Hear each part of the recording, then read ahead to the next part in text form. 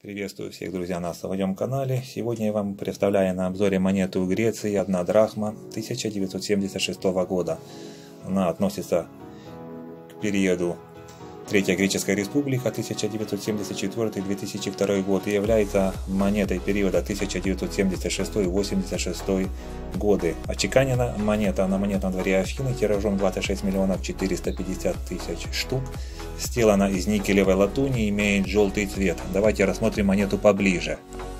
Перед нами аверс монеты, на котором изображен портрет Константина Канариса, годы жизни 1793-1877. Это греческий адмирал, герой освободительной войны за независимость, политик, премьер-министр Королевства Греции. По окружности монеты надпись Константин Канарис. Давайте рассмотрим реверс монеты.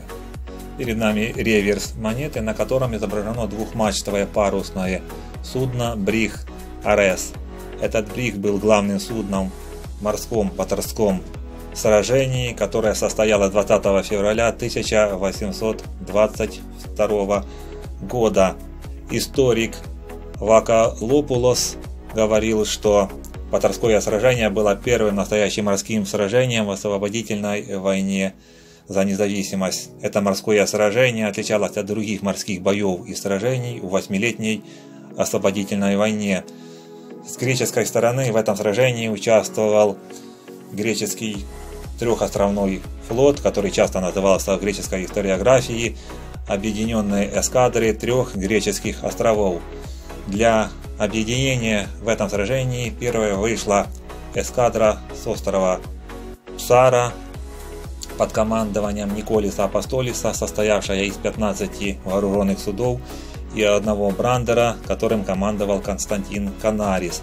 10 февраля вышла вторая эскадра с острова Идра, состоявшая из 26 судов под командованием Триумвирата Андреаса Миаулиса, Лазароса Пинациса и Яниса Вулгариса. Миаулис имел статус первого среди равных, но де-факто командование эскадрой Идры было принято под его руководством.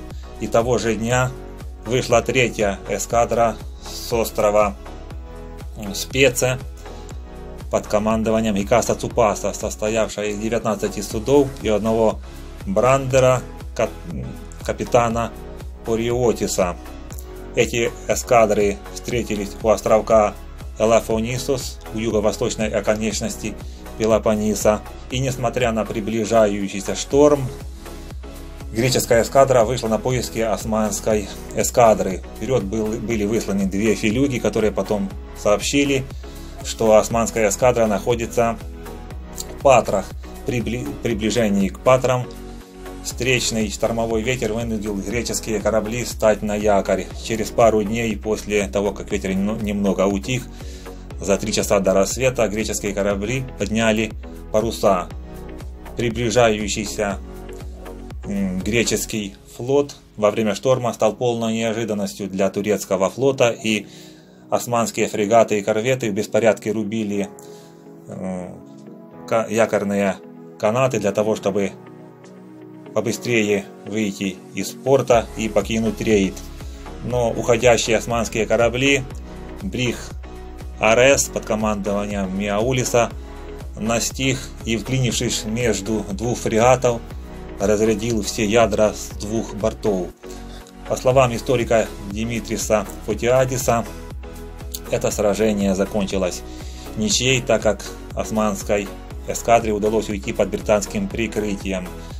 А вот большинство греческих историков утверждают, что это сражение окончилось большой греческой победой – по причине шторма, смены ветров и то, что османской эскадре удалось уйти, большинство греческих кораблей не удалось поучаствовать в этом сражении.